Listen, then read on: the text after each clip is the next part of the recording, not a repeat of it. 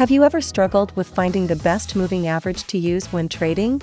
It's often hard to find the best period for the moving average since it's usually different for each asset or time frame. However, this artificial intelligence moving average completely solves this problem.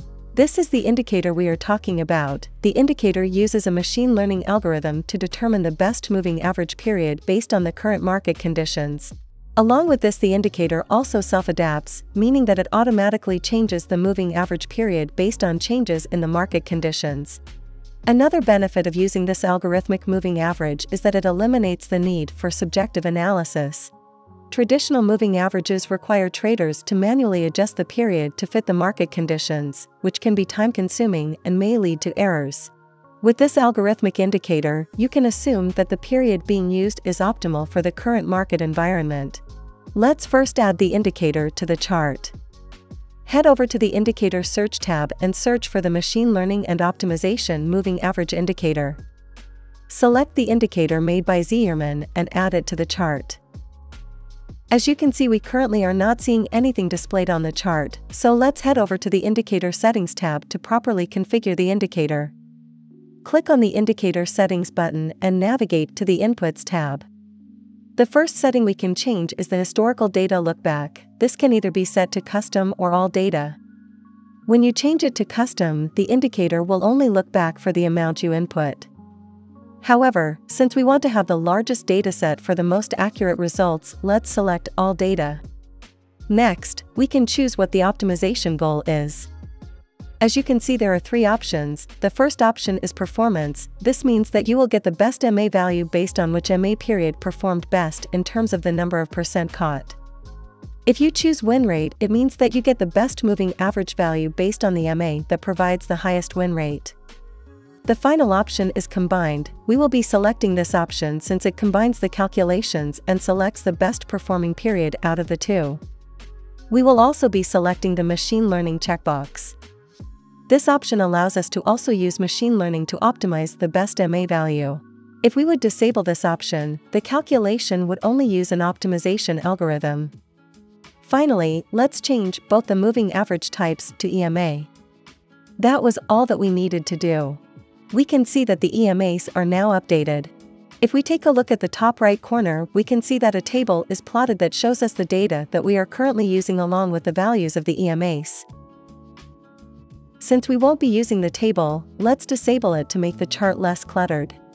Now that we know exactly how the indicator works, let's take a look at how we can read the indicator. The easiest and most common way of utilizing the indicator involves looking for crossover signals. If the fast period moving average crosses above the longer period moving average it indicates that a long-term uptrend will be playing out. If the fast period moving average crosses below the longer period moving average it indicates that a longer-term downtrend will be playing out. With this method we can easily identify the market trend. However, because of the long-term signals that are provided, the signals will sometimes have a delay making entering into a position based on the crossover a bad idea.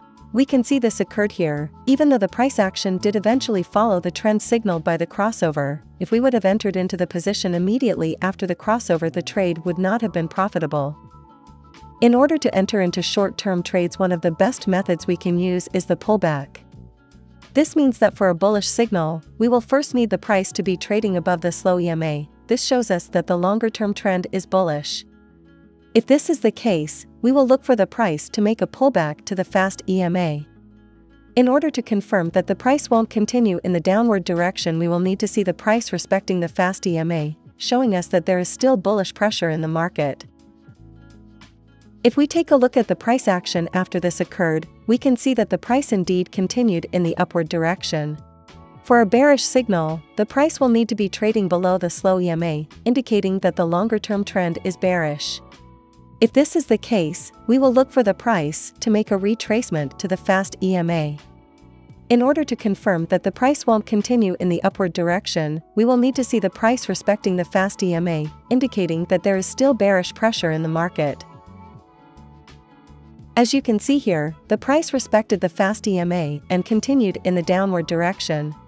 When looking at the market, you might notice that the slow AI EMA is also often used as support to enter into a buy position when the price pulls back to the slow EMA.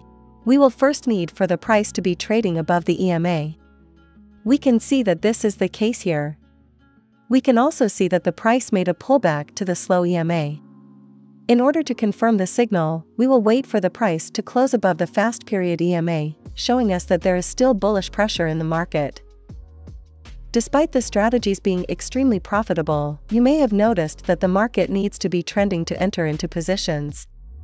In order to avoid periods of consolidation, let's add an extra indicator to the chart. But before that, I am currently hosting a Bybit trading competition with a prize pool of up to $1,000 where the first place gets $500 and the second place gets $300 and so on. If you are interested in joining and earning, click the link in the description to join. Head over to the Indicator Search tab and search for the Volume Oscillator indicator. Select the indicator made by TradingView and add it to the chart. Now head over to the style settings of the indicator. Here we will be changing the color to make the indicator easier to see. That was all that we needed to do. The volume oscillator is a technical analysis indicator that calculates the difference between two moving averages of volume. This oscillator is used to measure the momentum of the volume trend, indicating the buying or selling pressure in the market. It helps traders to identify possible changes in price direction and confirm the strength of a current trend. This means that if the volume in the market is lower, the value of the volume oscillator will also be lower, helping us spot consolidation periods. Now that we know how every indicator works and how we can read them, let's take a look at some entries that we can make using the indicators. We can see here that the price is in an uptrend. We know this because the price is trading above the EMAs. Along with this, we can also see that the EMAs made a bullish crossover here. If we take a closer look at the price action we can see that the price made a pullback to the slow EMA. If we take a look at the previous price action we can see that this price level has offered both support and resistance in the past. The value of the volume oscillator is above the zero line, showing us that there is enough volume in the market, making it likely that the market will start trending instead of consolidating. All of the signals indicate that it's a good idea to enter into a buy position. So let's enter into a buy position once the price closes above the fast EMA. We will be placing the stop loss at the recent swing low. For the take profit, we will target a 2 times risk to reward ratio. Now let's see how the trade plays out. Here we can see that the market is in a downtrend, we know this because of the price trading below the EMAs and because of the bearish EMA crossover. We can also see that the price made a pullback to the slow EMA. If we take a look at previous price action, we can see that the price has used this price level as a resistance zone before. If we look at the volume oscillator we can see that the value is above zero, showing us that there is a sufficient amount of volume in the market. So let's enter into the position once the price closes below the fast EMA. We will be placing the stop loss at the recent swing high. For the take profit, we will be targeting a 2 times risk to reward ratio, now let's see how the trade plays out. You can also combine the AI moving average with buy and sell signals. If the price is trading below the AI moving average, the trend is likely bearish. Knowing this, we will only enter into the sell signals provided by the buy-sell indicator. This means that we will be using the buy-sell indicator as the entry signal and the AI moving average as the trend filter. To enter into buy positions, we will need for the price to be trading above the AI moving average. If this is the case, we will enter into a position every time a buy signal is provided. The buy sell indicator that we are using is part of the LuxAlgo Premium Indicator package. If you are interested in getting access to the LuxAlgo Premium indicators, check out the link in the description to get them 30 days risk free. I hope you guys enjoyed the video and could see how the AI moving average indicator can be used and integrated into different strategies. If you did, please leave a like and subscribe to the channel.